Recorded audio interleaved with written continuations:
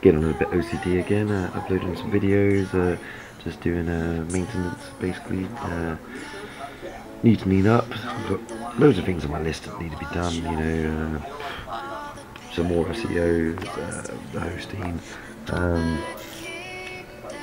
videos, but it's uh, there's a lot of there's a lot of work behind the scenes to it's not just about teaching the class or launching it because it's, uh, it's kind of creating it. So uh, building it training it um, making sure it's going to be right um, and even refining exactly what or how. So sorry I'm just randomly putting the camera and the crap as usual oh. yeah